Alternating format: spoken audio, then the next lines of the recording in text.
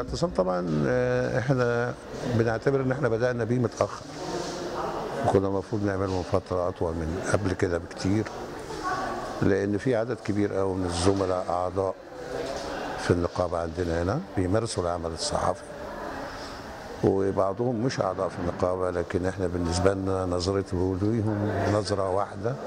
لأنه بيمارسوا عمل صحفي ميداني بيغطوا مظاهرات وأحداث عشان توصل للرأي العام بصورة محايدة وليست صورة حكومية. في زميل مصور زيك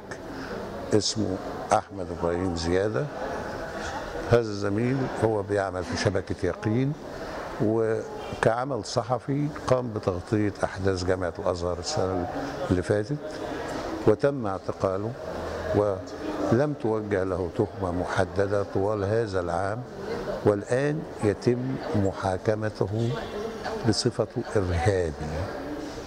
هذه أول مرة تحدث في تاريخ الصحافة المصرية أن يقبض على صحفي ويحاكم كإرهابي. الأنظمة السابقة دفعت ثمنا لانتهاك الحريات دفعت ثمنا لاضطهاد الصحفيين وأنا أرى أننا أمام نظام يؤسس لنفس الفكرة من جديد. آه، الرسالة الآن أن أن جماعات الغضب الصغيرة التي خرجت ضد مبارك والتي بدأت ضد مرسي هي التي آه،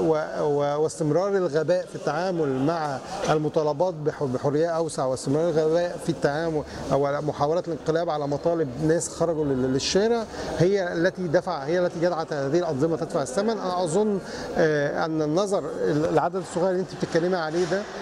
هكذا بدأت كثير من التحركات بأعداد مثل هذه يعني. عارفة كل التحركات سواء أيام مبارك من خلال مجموعات صغيرة في كفاية اللي هي بدأت ب 300 أو 400 واحد على مستوى كبير جدا ثم تطورت حتى وصلنا ل 2011 أو من خلال آه، أو في مواجهة نظام مرسي والتي بدأت برضه قطاعات صغيرة وربما بدأت بحركات بحملات توقيع ضد النظام انتهت لإسقاطه نحن أمام آه، بناء سياسة أمنية